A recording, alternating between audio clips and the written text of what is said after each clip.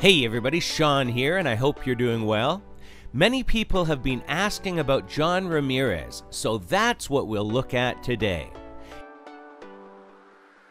If you're not familiar with John Ramirez, he's become quite famous based on his story of coming out of darkness into light and has apparently been on a lot of shows talking about this. We did a short review on his trip to hell on the Sid Roth show and four guests' false trips to hell. The descriptions of hell were all quite different, to say the least. And of course, they were all selling products. We should be cautious of anybody on the Sid Roth show, and especially of people that become instantly famous in the Christian circle and start traveling to sell their story and products. If it is a true story, then no problem. But if it leads people to start movements that involve writing multiple books and holding boot camps for money, then there's a reason to be at least a bit concerned. There's a site called Watchkeepers that's done a lot of work to compare different clips and show that his stories and facts seem to change from one interview to the next. So, as the saying goes, if you're gonna be a liar, you need to have a good memory.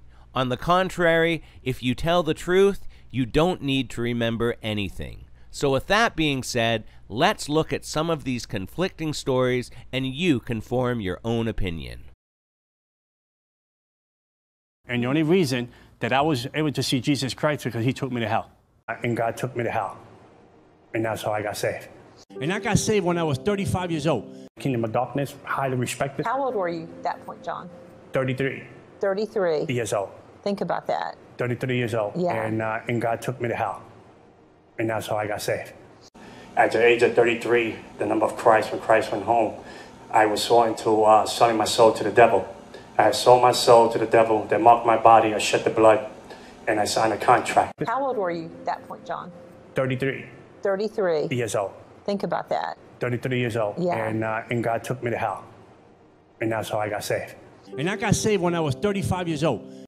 33 years old. Yeah. And, uh, and God took me to hell. And that's how I got saved.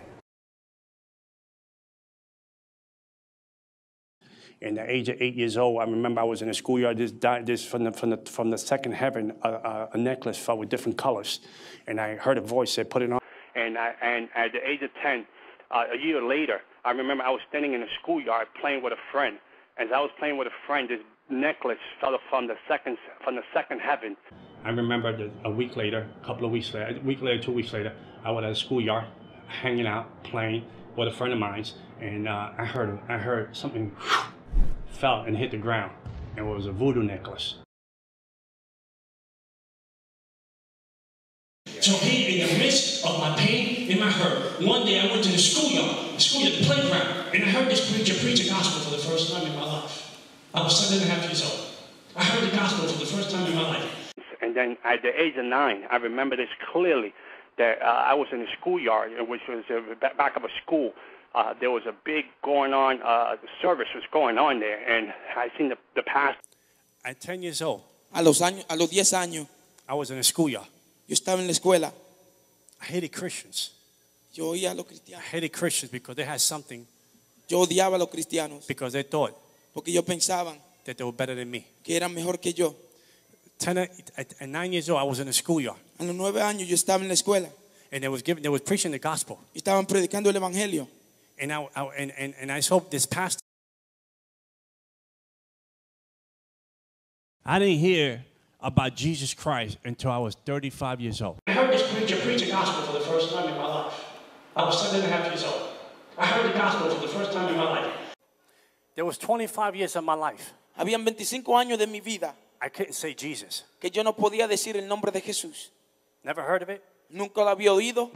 When I was a devil worshiper, I rented the Ten Commandments more than anybody else.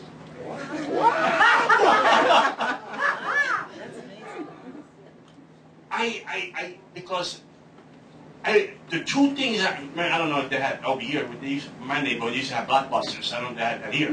Yeah. They don't have it anymore. So we used to have blockbusters, right? Yeah.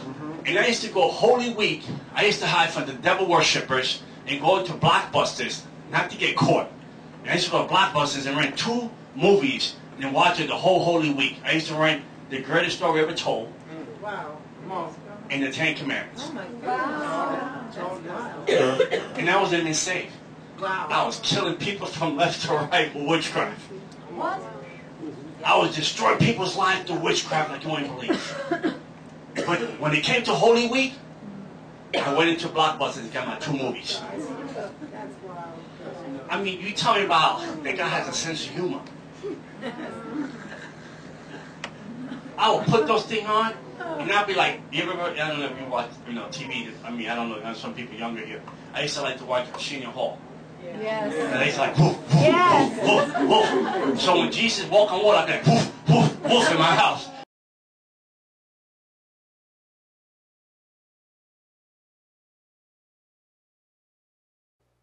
And Jesus had to take me to hell.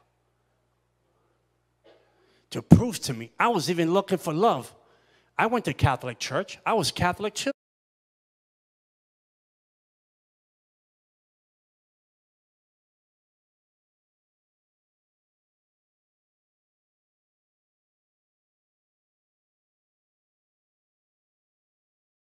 I, I started at the age of 12 years old. At the age of 12 years old, I was sworn into the dark side. And uh, they, they went on, and a couple of days later, they initiated me to the dark side at the age of 8 years old.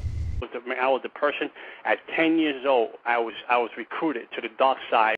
Did your family dedicate you to Satan? Yeah, I was dedicated at the age of 9.